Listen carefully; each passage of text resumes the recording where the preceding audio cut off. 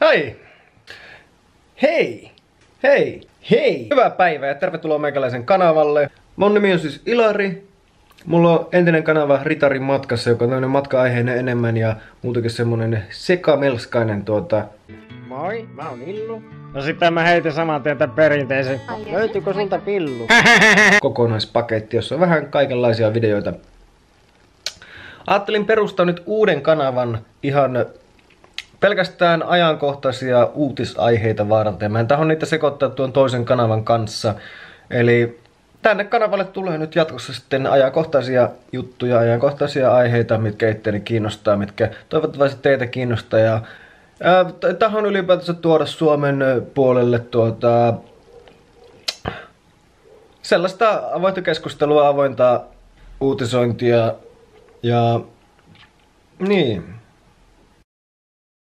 Eli käydään läpi tämmöistä melko mielenkiintoista juttua. 4. päivä 2022 THL julkaisi lausunnon, että heillä on tekninen virhe datassa, joka sai epämuodostumat, syövät ja rokotteiden haittavaikutukset yliarvostettuna näkyviin datassa. No, tämä oli tosissaan tekninen virhe ja dataa tällä hetkellä korjataan. Samana päivänä esimerkiksi Israelin ICIP, eli Israel Pandemic Info Center, sanoi myös, että heidän datassaan on Our World in Data, eli OVID-sivustolla, niin sielläkin oli myös virhe. Arvostetun John Hopkinsin yliopiston keräämän datan mukaan koronakuolemat olivat korkeassa nousussa, mikä sitten korjattiin oikeaksi näyttää niiden olevan sittenkin laskussa. Mielenkiintoista tässä toki oli se, että tehohoidon kuormitus vastasi aiempaa dataa. Professori Jakov Jeris, Ichilovin sairaalan koronavirusosaston johtaja vielä, päätti sekoittaa pakkaa entisestään, kertoessaan kanava 13 uutisille Israelissa, että 70-80 prosenttia heidän tehohoidonsa kapasiteetista on yli kolme kertaa rokotettuja potilaita.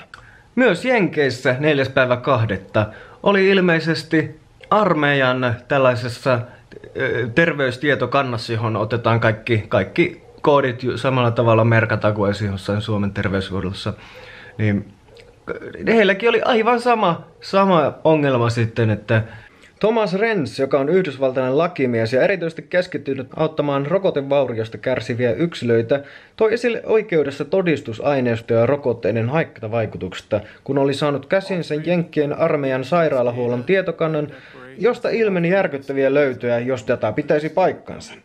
Datan puolesta armeijan tohtorit Samuel Sigolov, Peter Champers ja Teresa Long muun muassa vannoivat rikostuomion uhalla valan alla datan paikkaansa pitävyyden, joka kertoi 300 prosentin noususta kirjoitusta terveyden ongelmista verrattuna 2021 aiempiin vuosiin. Muun muassa neurologisien oireiden kirjauksessa oli tuhannen prosentin nousu edeltäviin vuosiin over a thousand percent increase. A well, thousand. T- ten times. That's ten times the rate, and obviously that. 83,000 per year, to, I'm sorry, 82,000 per year to 860,000 Ja kaikissa muissakin tuota, terveysongelmissa oli suurin suuri piikki ylöspäin. Mutta mikä tässä tekee just niin mielenkiintoisen on se, että kaikki nämä tapahtui samana päivänä, neljäs päivä kahdetta. Mikä on se todennäköisyys siihen, että ympäri maailmaa globaalisti Israelista, Jenkeissä ja Suomessa. Niin miten voi olla, että samana päivänä ympäri maailmaa datasta löydetään tämmönen virhe, joka näyttäisi, että rokotteiden haittavaikutukset olisi jotenkin räjähtäneet käsiin. Ja miten se samana päivänä myös korjataan ne pois Mä en tässä taho implikoida mitään, mä taho vaan nostaa tän ylös, koska tästä ei ole uutisoitu missään vielä tähän mennessä. Ja meikän mielestä tämä on aika sairas juttu. Ja semmonen, joka vaatii todellakin tarkastelua. Todella tarkkaa tutkintaa. Minä en sitä pysty yksityisenä oman elämän tutkijana lähteä tutkimaan sen enempää. Mutta tähän tarvitaan ihan oikeasti nyt silmäpareja. Sillä tämmönen datavirhe, näitä tilastovirheitä ja datavirheitä, näitä on nyt vähän turhan kovasti ollut esillä. Ja tilastovirhe, jos joku tilastovirhe on, niin kyllä ne pitää tutkia silloin, varsinkin kun on näin paljon tuota epäkohtia tässä koko keississä. Mutta mitä mieltä sinä olet? Kerro ihmeessä kommenteissa ja laitetaan keskustelu pystyy tuohon alla. Tilaa kanava ja keskustellaan jatkossakin näistä jutusta. Ja jos joku miettii, että minkä takia täällä on niin naama punainen, niin se johtuu ihan siitä, että, että ah, mulla on täällä huoneessa mansikkafarmi tulossa. Mhm. Hei, nyt täytyy sanoa jotain. Kuvasin tosissaan eilen tuon videon ja unohin aivan täysin faktan tarkastaa ja tein semmoisen työn, että laitetaan nyt tuo kuitenkin, mutta tämä datavirhehän siis johtui viimeisen viiden vuoden aikana aliraportoidusta terveydenhuollon käynneistä.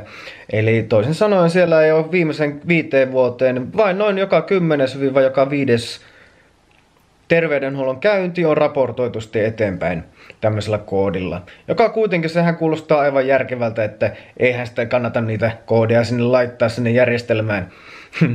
no, ei siinä. Ihan väärä hälytys. Ei muuta kuin mitä vittua. Kiitos kun katsoit videon ja palataan taas seuraavan aiheen parissa. Ciao ciao.